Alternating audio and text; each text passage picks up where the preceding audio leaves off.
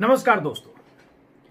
आज जो वीडियो मैं बना रहा हूँ, ये मैं परसों बनाना चाहता था वैसे तो लेकिन कुछ और दूसरे तरह के वीडियो में मैं फंस गया और मेरे पास वक्त नहीं मिला और ये परसों मैं इस वीडियो को बना नहीं सका।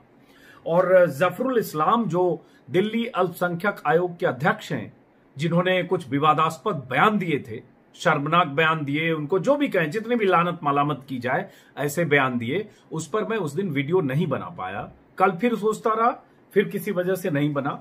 लेकिन उसी बीच कल शाम, देर शाम, मेरे हाथ प्रधानमंत्री को लिखी दिल्ली यूनिवर्सिटी और दिल्ली के और शैक्षणिक संस्थानों के शिक्षकों प्रोफेसर की चिट्ठी एक हाथ लगी कल देर रात, जिसमें एक सौ उनहत्तर लोगों ने प्रधानमंत्री मोदी को चिट्ठी लिखकर जफरुल इस्लाम के खिलाफ कार्रवाई की मांग की है और कहा है इनका उस पद पर बने रहना, दिल्ली अल्पसंख्यक आयोग के अध्यक्ष के पद पर बने रहना देश के खिलाफ है, देश हित में नहीं है, इसलिए इन्हें तत्काल हटाया जाए। तब मुझे लगा कि चलिए, अब इस बहाने मुझे अपनी बात कहनी चाहिए, क्योंकि देर हो चुकी थी। मैं भी खोज रहा था कोई न्यूज़ पेग हो, क्योंकि मैं परसों, जैसा कि मैंने कहा, परसों मैं चुक गया, दो, तीन दूसरे वीडियो में फंसा रह गया और देर रात तो आज मुझे लगा कि अपनी बात कहनी चाहिए ताकि सनद रहे। और बहुत सारे आप में से ऐसे लोग जो ट्रोल करने लगते हैं कि आप इस पर बोले तो उस पर क्यों नहीं बोले? बीजेपी विधायक पर बोले तो जफरुल इस्लाम पर क्यों नहीं बोले?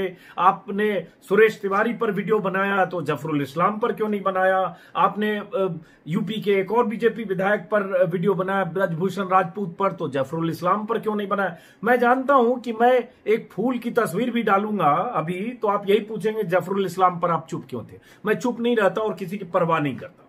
वक्त की बात है, मैं कोई टेलीविज़न चैनल नहीं चला रहा हूँ कि सत्तर वीडियो बनाऊँ, साठ विषय को उठाऊं। एक दो वीडियो में जो जो उस दिन मौका मिला, वो बन पाया, जो मौका नहीं मिला, नहीं नहीं बन पाया, इसकी बस इतनी बस इतनी कहानी है। लेकिन हाँ आज आपको मेरी राय पता चल जानी चाहिए, और उस मुद्दे पर मैं अपनी बात फिर से रख देता हूँ। जैसा कि मैंने कहा, ताकि सनद रहे, कुछ चीज़ें ऑन द रिकॉर्ड ज़रूरी है।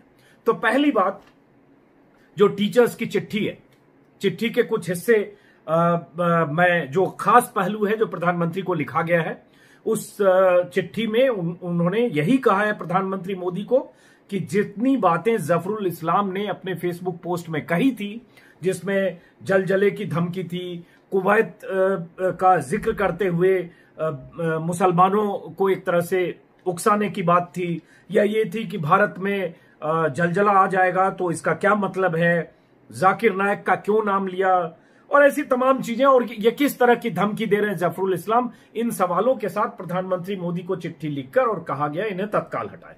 जिन शिक्षकों ने चिट्ठी लिखी है, उसमें एक सौ उनहत्तर शिक्षक हैं दिल्ली विश्वविद्यालय के अलग अलग कॉलेजेस के और कुछ अलग शैक्षणिक संस्थानों के भी हैं। Rakesh Pandey, KMC, Virendra Singh Negi, Bhagat Singh college, Pradyumna Kumar, Hindu college N K Kakkar Agrasen college, Sunil Sharma, Dayal Singh, Tarun Kumar Garg, Satyawati college, Saloni Gupta, Bharati Bharati college, Naina Hasija, Kalindi college, Sunil Kumar, Shaheed Bhagat Singh college, Ruby Mishra, Deshbandhu college, Yudhvir Singh, Rajdhani college, Pramod Sharma, KMC college, Anurag Mishra, Deendayal Upadhyaya college, ऐसे एक सौ उनहत्तर नाम है। एक सौ उनहत्तर नाम पढ़ नहीं सकता, बाकी आप स्क्रीन पर देख सकते हैं। इन लोगों ने चिट्ठी लिखी प्रधानमंत्री मोदी को और हटाने की बात की। ये मैं पहले भी कर चुका। अब सवाल उठता है, जफरुल इस्लाम ने कहा क्या था और क्या उनको हटाया जाना चाहिए या नहीं? इन सवालों पर आगे उसके पहले कि इसमें कोई शक नहीं है कि जफरुल इस्लाम ने जो लिखा फेसबुक पर निहायत आपत्तिजनक है एतराज़ वाली बात है और यकीनन उनके खिलाफ कार्रवाई होनी चाहिए और अगर दिल्ली सरकार या एलजी उनके खिलाफ कार्रवाई करते हैं तो मैं क्योंकि उन्होंने माफ़ी भी नहीं मांगी। अगर माफ़ी मांग लेते और उन्होंने ये कहा होता, गलती हुई तो एक बार शायद चलिए, दिल्ली सरकार यह फैसला करती, क्योंकि माफ़ी नामे से बहुत सारी चीज़ें खत्म होती है। लेकिन उन्होंने माफ़ी नहीं मांगी तो दिल्ली सरकार या एलजी चाहे कार्रवाई करे एफआईआर करे, मैं उस हर फैसले का समर्थन करूँगा। यह भी हुआ है कि कल दिल्ली बीजेपी के कुछ नेता, नेताओं का प्रतिनिधिमंडल, जो इनसे एलजी से मिलने गए थे और एलजी से मिलकर उन्होंने एफआईआर दर्ज करने की मांग की है और उन्हें पद से हटाने की मांग की और चिट्ठी का ज़िक्र तो मैं कर ही रहा हूँ। मैं इन सारी मांगों का समर्थन करता हूँ कि ये सब कुछ होना चाहिए, क्योंकि जफरुल इस्लाम ने जो फेसबुक पर लिखा, जिसमें उन्होंने साफ़ साफ़ लिखा, एक तरह से बहुत सारे लोगों को पता होगा, लेकिन मैं फिर रिपीट कर दूँ और उसके बाद मैं बात आगे बताऊँगा कि जब कार्रवाई हो तो सब पर हो, सारे कायदे कानून बराबर हो संवैधानिक पदों पर बैठे हर आदमी के लिए बराबर हो। ऐसा नहीं हो कि जफरुल इस्लाम बोले तो कार्रवाई हो और तथागत रॉय जो मेघालय में गवर्नर हैं, बीजेपी के कार्यकर्ता हैं, आरएसएस के स्वयंसेवक हैं, वो कुछ भी लिखें जहरीली बात तो उन पर कोई बात नहीं हो। ये भी बात बताऊँगा, क्योंकि और इसमें आपको कुछ लोगों का आक्रोश हो जाएगा। लेकिन सही बात है, होना चाहिए तो संतुलन होना चाहिए, सबके लिए कार्रवाई हो। और ऐसे लोगों के बयानों पर तुरंत एफआईआर दर्ज करिए। या जो संवैधानिक पदों पर लोग गवर्नर है, राष्ट्रपति उस पर कार्रवाई करें और उसके बाद सरकार अनुशंसा करे, लेकिन वो नहीं होती है। फ़िलहाल जफरुल इस्लाम पर वापस लौटते हैं। जफरुल इस्लाम ने जो कुछ कहा, जो मैं पहले कह चुका हूँ कि जितनी लानत मलामत की जाए, कम है, उन्होंने कुवैत का शुक्रिया अदा किया, जिसके बारे में कहा जा रहा है, जो ट्वीट, बहुत सारे फर्जी ट्विटर हैंडल से ट्वीट आ रहे हैं और उसके हवाले से शुक्रिया अदा किया। चलिए वो शुक्रिया अदा करना इतनी बड़ी चीज़ नहीं है, जो उन्होंने एक तरह से उन्होंने, एक तो जाकिर हुसैन को हीरो की तरफ़ पेंट करना मुझे इतराज है। क्योंकि जाकिर हुसैन के खिलाफ भारत सरकार कई मामलों में उनके खिलाफ मनी लॉन्ड्रिंग से लेकर बाकी मामलों में उनके खिलाफ मुकदमे दर्ज है। जब तक क्लीन चिट नहीं है, तब तक जाकिर हुसैन को हीरो वर्शिप की तरह जाकिर हुसैन की बात कर रहे हैं तो उस पर एतराज़ का किसी को हक है। उसके बाद असली बात जो उन्होंने कहा है, कट्टर सोच वालों, भारतीय धमकी दे रहे हैं, एक तरह से चेतावनी दे रहे हैं जफरुल इस्लाम। ट्विटर पर फेसबुक पर लिखा पोस्ट आप देख रहे होंगे साइड में, कि कट्टर सोच वाले लोग सुन लो। भारतीय मुसलमानों ने आज अगर अरब और मुस्लिम देशों से तुम्हारी नफरत भरी मुहिम, लिंचिंग और ऐसी हरकतों की शिकायत कर दी तो ऐसे कट्टर लोगों को जलजला का सामना करना पड़ेगा। एवलांच लिखा है, जिसका मतलब होता है, अर्थक्वेक, जलजला, तबाही। तो तबाही का सामना करना पड़ेगा। ये आप लिख रहे हैं। दिल्ली अल्पसंख्यक आयोग के अध्यक्ष हैं और लिखते हुए इस तरह से धमकी दे रहे हैं कि सुन लो देश में ऐसे लोगों। अगर हमने अरब मुल्क इस्लामिक देशों से शिकायत कर दी और उन्होंने इन शिकायतों का कॉग्निजेंस लिया तो जलजला आ जाएगा। निहायत आपत्तिजनक है। आपको अगर शिकायत है इस देश में इस देश के संविधान इस देश के कानून इस देश के आ, की परिधि में रहकर जो मर्ज़ी करिए। लेकिन ये धमकी कि अरब देशों के लोग आ जाएँगे और जलजला आ जाएगा, अरब देशों से समर्थन मिल जाएगा, उससे जलजला आ जाएगा, इसकी निंदा की जानी चाहिए। और मुझे लगता है मैंने कई लोगों से आज सुबह भी बात की, ऐसा समझदार आदमी कोई ऐसा नहीं है जो इसकी लानत मलामत ना करता हो। आप में से भी अगर बहुत सारे मुस्लिम लोग हैं, जिन्हें लगता होगा कि नहीं, क्या गलत है तो जरा ठंडे दिमाग से सोचिएगा। जफरुल इस्लाम का यह बयान हर हाल में ये उनका उनका, जो ट्विटर पर या फेसबुक पर लिखा गया हर हाल में निंदनीय है। क्योंकि आप भारत की चौहद्दी में भारत की सरहद में रहकर आप धमकी और चेतावनी ऐसे मत दीजिए कि मुस्लिम देशों से शिकायत हमने कर दी तो जलजला आ जाएगा। भारत इतना कमज़ोर नहीं है कि कुवैत और अरब देशों के लोग कुछ नाराज़ हो गए या वहाँ के शेख नाराज़ हो गए तो भारत में जलजला आ जाएगा। ये मुल्क 135 करोड़ की आबादी वाला ये मुल्क इतना कमज़ोर नहीं है कि कोई दूसरा मुल्क हमारे देश में जलजला ला दे एक बात हमारे देश में या जो भी जिनके लिए भी कहा गया दूसरी बात मैं बार बार कई वीडियो में कह चुका हूँ कि यहाँ से भी जो लोग जहरीले लोग जो मिडिल ईस्ट में रह रहे हैं दुबई में रह रहे हैं यूएई में रह रहे हैं कुवैत में रह रहे हैं बहरीन में रह रहे हैं सऊदी अरब में रह रहे हैं यमन में रह रहे हैं ओमान में रह रहे हैं कहीं भी रह रहे हैं वो लोग भी अगर वहाँ पर नफरत फैला रहे हैं इस्लाम को गाली दे रहे हैं उन्हीं के मुल्क में रहकर और उन्हीं के मुल्क में रहकर अगर कह रहे हैं, ये जिहाद है, ये कोरोना जिहाद है, ये इस्लामिक टेररिज्म वाला ये वायरस जिहाद है, वो भी गलत कर रहे हैं। और इस पर मैं दो वीडियो बना चुका, इसलिए उस, दो या तीन, इसलिए उस पर बात करूँगा, रिपीट होगा। वो गलत कर रहे हैं, लेकिन एक गलत का काउंटर दूसरा गलत नहीं हो सकता। उनमें से बहुत लोगों की नौकरियाँ गई है दुबई में, और बहुत सारे लोग अभी भी अंडरग्राउंड है। वो गलत हैं लेकिन उस गलती का मतलब ये नहीं हो सकता कि हाँ अल्पसंख्यक आयोग का अध्यक्ष कहे कि भारत में कट्टर सोच वाले सुन लो, अगर हमने शिकायत कर दी तो जलजला आ जाएगा। नहीं। अक्षम में।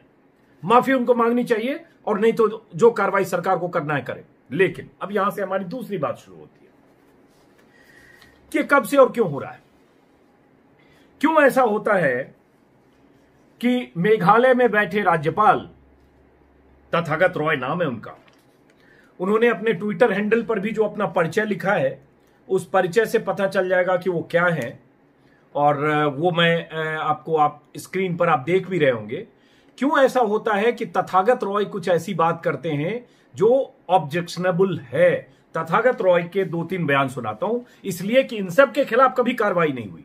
अगर कार्रवाई तथागत रॉय के खिलाफ हो गई होती अगर राष्ट्रपति ने तथागत रॉय के बयान को संज्ञान में लेकर उन्हें चेतावनी दी होती और कार्रवाई की होती तो शायद ऐसी स्थितियाँ ना आए। और उसके बाद जो इतने विधायक और इतने लोग जो नफरत फैलाने वाली हरकतें कर रहे हैं, उनके खिलाफ कार्रवाई हुई क्या? तो ये जो टीचर हैं, एक सौ उनहत्तर लोग, सही लिखा इन्होंने लेकिन क्या इनका गुस्सा, आक्रोश इन सब चीज़ों पर नहीं आता है, जो देश में बाकी चीज़ें हो रही है? सब पर बात करिए। तथागत रॉय, वापस लौटते हैं। तथागत रॉय साहब ने विवादास्पद बयान लगातार देते रहे। पश्चिम बंगाल के हैं, बीजेपी के सदस्य रहे हैं, आरएसएस के सदस्य रहे हैं, प्रचारक रहे सब कुछ रहे। तथागत रॉय की का एक बयान जो सबसे विवादास्पद हुआ था, जिसमें उन्होंने फरवरी 2019 में लिखा था, और माफ़ी भी नहीं मांगी इसके लिए। इस बयान में उन्होंने कहा था कि भारतीय सेना के एक रिटायर कर्नल ने अपील की है। इंग्लिश में उसका हिंदी तर्जुमा कर रहा हूँ। इंग्लिश ट्वीट आप देख रहे होंगे स्क्रीन पर। भारतीय सेना के एक रिटायर्ड कर्नल ने अपील की है कि कश्मीर नहीं जाए। दो साल तक अमरनाथ यात्रा न जाए। कश्मीर एम्पोरियम कश्मीरी ट्रेडर से हर सर्दी के मौसम में आने वाले सामान न खरीदें। कश्मीर की हर चीज़ का बहिष्कार करें। मैं इससे सहमति जताता हूँ। गवर्नर लिख रहे हैं। कि कश्मीर के हर सामान का बहिष्कार करें, मैं इससे सहमति जताता हूँ। अपील भले मेजर माफ़ करें सेना के रिटायर कर्नल की तरफ़ से सहमति गवर्नर जता रहे अरे, कश्मीर में सत्तर लाख आबादी है कश्मीरियों की। आप उनको सजा दोगे अगर आपके विचार कुछ और हैं, नहीं मिलते हैं तो।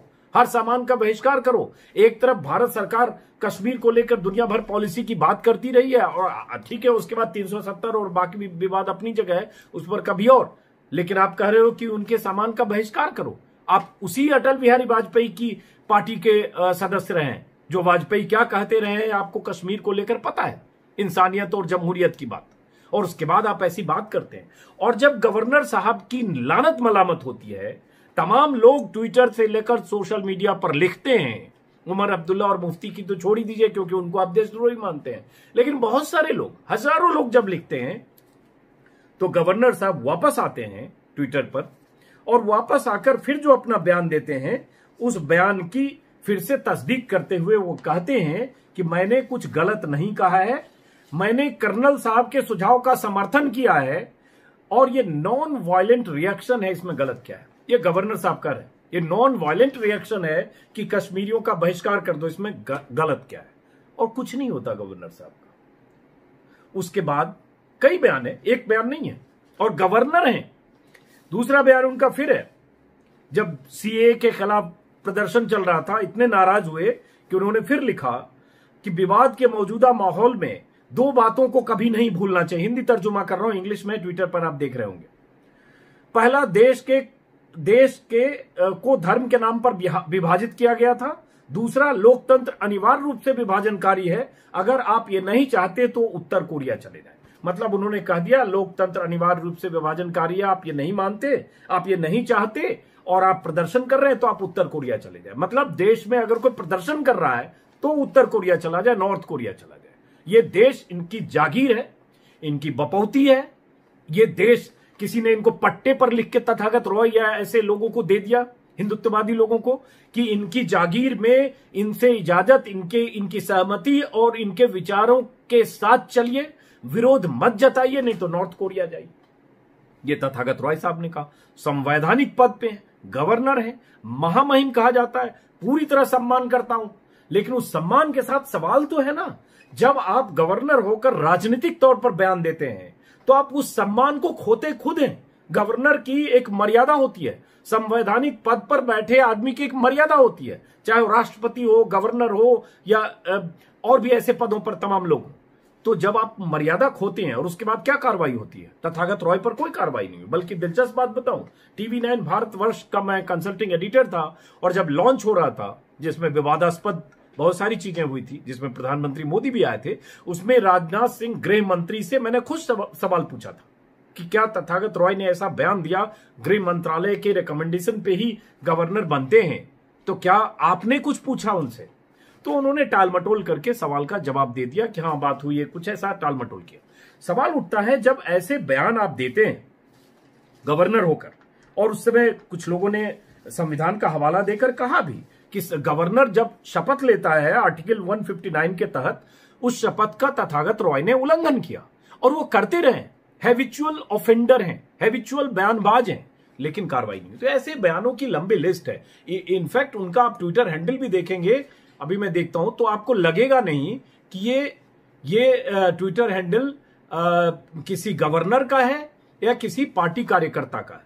बहुत सारे लोग आज मेरे इस वीडियो से भी हो सकता है नाराज़ हो जाए। मैं दोनों पक्ष की बात करता हूँ कि अगर आपको एतराज़ है जफरुल इस्लाम से, जो मुझे भी है, बहुत सख्त एतराज़ है और मुझे अफसोस है, मैं आज अफसोस जता रहा हूँ कि परसों वीडियो क्यों नहीं बनाया, क्योंकि परसों बहुत देर रात को मैंने देखा और तब तक मैं दो वीडियो बना चुका था और कल फिर किसी वजह से, थोड़ी अस्वस्थता की वजह से कल मैंने कोई वीडियो ही नहीं बनाया। तो मैं कल भी बेचैन रहा, लेकिन कुछ अस्वस्थ था और मैं वीडियो नहीं बना पाया। देर रात कल फिर मुझे चिट्ठी मिली तो सोच के बैठा था कि आज करूँगा। तथागत रॉय का जो ट्विटर हैंडल है, उसके जो, उनके परिचय में लिखा हुआ है right wing Hindu socio political thinker right wing Hindu socio political thinker writer ideologue also governor Meghalaya मतलब ऑल्सो गवर्नर गवर्नर इनके लिए ऐसे भी लिस्ट प्रोफ़ाइल है। बाकी इंपॉर्टेंट है कि right wing Hindu socio political thinker और राइटर हैं। ये अपना परिचय खुद लिख रहे हैं। तो एक संवैधानिक पद पे बैठे शख्स, अगर ऐसा परिचय लिखते हैं तो आप अपने विचार, अपना दायरा, अपनी सोच की परिधि और किसी के प्रति क्या नज़रिया रखेंगे, ये सब कुछ आपने पहले ही लिख दिया। मेरे ख्याल से इससे उनको भी बचना चाहिए। अगर गवर्नर है तो आप हर आदमी एक विचार के साथ होता है विचार के बिना आदमी मुर्दा होता है। बहुत बड़े थिंकर का कहा हुआ है। लेकिन जब आप एक पद पर बैठे होते हैं तो आप अपने विचार को अपने भीतर रखते हैं अपने आचार से उस विचार को झलकने नहीं देते हैं। यही आ, होना चाहिए क्योंकि जो सुप्रीम कोर्ट के चीफ जस्टिस ऑफ़ इंडिया हैं वो भी किसी को वोट देते होंगे। जो जजेज हैं वो भी किसी को वोट देते होंगे। जो चीफ इलेक्शन कमिश्नर है वो भी किसी को वोट देते होंगे। लेकिन उस वोट और विचार के हिसाब से वो कार्य करेंगे तो गलत होगा। तो मेरा सिर्फ़ इतना कहना है। अब बात आती है तथागत राय रॉय के बाकी बयानों के अलावा वापस लौटते हैं कि आ, मैं तो उम्मीद करता हूँ अभी भी मैं देख रहा था कि कैसे आ, जो जफरुल इस्लाम है इनको हटाया जा सकता है। तो जो दिल्ली माइनॉरिटीज कमीशन एक्ट है 1999 का इसके मुताबिक इनको कैसे हटाया जा सकता है ये इसी में मेंशन है। दिल्ली सरकार चाहे तो इन्हें हटा सकती है। एलजी चाहे तो हटाने की कार्रवाई शुरू हो सकती है। सवाल उठता है दिल्ली सरकार या अरविंद केजरीवाल ने इस, इस पर कोई प्रतिक्रिया दी? शायद नहीं दी। मैंने बहुत ज़्यादा इस पर रिसर्च नहीं किया लेकिन शायद नहीं दी। मैं मानता हूँ कि उनके खिलाफ कार्रवाई होनी चाहिए। मैं मानता हूँ कि उनके खिलाफ आप जो भी करना हो करिए क्योंकि वो उन्होंने एक तरह से ऑफेंस किया। लेकिन शुरू करिए सब जगह से। सबके खिलाफ कार्रवाई करिए। आप बीजेपी के उन दो विधायकों के खिलाफ तुरंत एफआईआर दर्ज करिए। जिन दो विधायकों ने उत्तर प्रदेश में सुरेश तिवारी और ब्रजभूषण राजपूत ने खुलेआम जो कहा है, जिसका वीडियो मैं दिखा चुका हूँ, एक सब्ज़ी वाले को भगा रहा है, पीटूँगा अगर इस गली में आए, दूसरा कह रहा है सब्ज़ी मत खरीदना, और ये सब तब कह रहे हैं जब प्रधानमंत्री मोदी, मोहन भागवत और जेपी नड्डा नसीहतें दे चुके हैं कि सांप्रदायिक सद्भाव खराब मत करिए, भाईचारे के साथ रहिए, किसी समुदाय को टारगेट मत करिए। हुआ एफआईआर, कार्रवाई हो गई तो सेलेक्टिव सबके खिलाफ करिए। ये भी गलत है, वो भी गलत है। तो मेरा सिर्फ़ इतना कहना है, आप कह सकते हैं कि मैं संतुलन कर रहा हूँ। नहीं, आप असंतुलित बात करते हैं अगर आप एक तरफा करते हैं। अगर आप चिट्ठी लिखते हैं, अच्छी बात है। आपको लिखनी चाहिए। और आप सब मांग करते हैं इनको हटाने की, मैं उस मांग में आपके साथ हूँ। लेकिन मैं उन सारी चीज़ों में भी मांग करता हूँ, जहाँ बाकी बहुत सारे लोग कर रहे हैं, वहाँ आप साथ नहीं है। वहाँ आप अलग है, वहाँ आप चुप है, वहाँ सन्नाटे में वहाँ आपको कोई फ़र्क नहीं पड़ता। तथागत रॉय कहते हैं, कश्मीर के लोगों के सामान का बहिष्कार करो, कोई फ़र्क नहीं पड़ता। तथागत रॉय प्रदर्शनकारियों को, विरोधियों को कहते हैं, नॉर्थ कोरिया चले जाओ, आपको कोई फ़र्क नहीं पड़ता। वो गवर्नर है, कोई फ़र्क नहीं पड़ता। तो मुझे फ़र्क पड़ता है। मुझे फ़र्क पड़ता है, मैं वहाँ भी एतराज़ करूँगा, मैं यहाँ भी एतराज़ करूँगा। ये भी गलत है, वो भी गलत है। हर इस तरह की गलती, बयानबाजी, नफरत फैलाने वाली जो प्रवृत्ति है, हर ऐसी प्रवृत्ति पर चोट होनी चाहिए और उनके खिलाफ कार्रवाई हो, एफआईआर हो, जो भी संविधान का दायरा, जो भी इजाज़त देता है, जैसे भी देता है, उन सब चीज़ों को एक्सरसाइज किया जाना चाहिए। इस वीडियो को यहीं खत्म करते हुए मैं फिर कहूँगा कि जो शिक्षकों ने चिट्ठी लिखी है, वो सही है। उस चिट्ठी के साथ हूँ। लेकिन इस चिट्ठी में बात अधूरी है, क्योंकि इस चिट्ठी में जो शुरू का जो इंट्रो है, प्रधानमंत्री मोदी को लिखा गया, उसमें हिंदुओं की चिंता खाली है। आप देश हिंदू से सिर्फ़ नहीं बनता है। अस्सी फ़ीसदी की बात कुछ करने लगते हैं। आज एक मशहूर चैनल आजकल रोज अस्सी फ़ीसदी हिंदुओं की बात करते हैं।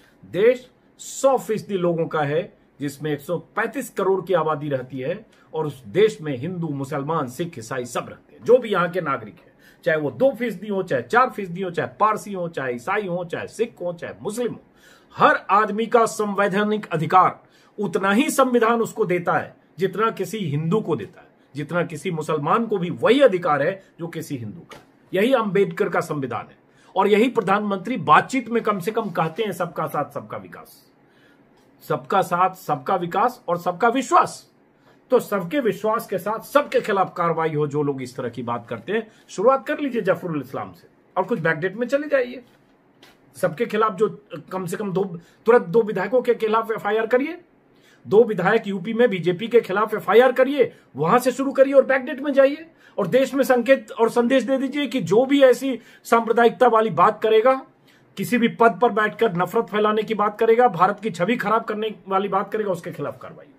चले इस वीडियो को यहीं खत्म करता हूँ। इस उम्मीद के साथ कि आप सब लोग जिन्होंने सब्सक्राइब नहीं किया है, वो सब्सक्राइब करेंगे ताकि मेरी बात अधिक से अधिक लोगों तक पहुँचे और जिन्हें बहुत तकलीफ़ हो रही थी कि मैं जफरुल इस्लाम पर बोल क्यों नहीं रहा। तो मैं जानता हूँ इससे उनकी संतुष्टि नहीं होगी, क्योंकि उन्हें वो ये कहेंगे कि जफरुल इस्लाम पर तो बोले आप तथागत रॉय पे भी बोल गए आप बीजेपी को भी क्यों शामिल कर हाँ जी, सबको शामिल करो। ऐसा नहीं हो सकता सेलेक्टिव आप हैं। मैं तो कह रहा हूँ दोनों गलत है। आप कहो ना दोनों गलत है, दोनों के खिलाफ कार्रवाई होनी चाहिए तो मान लूँगा आप सेलेक्टिव नहीं हो। सेलेक्टिव आप हो जो लोग मुझ पर इल्ज़ाम लगा रहे हो।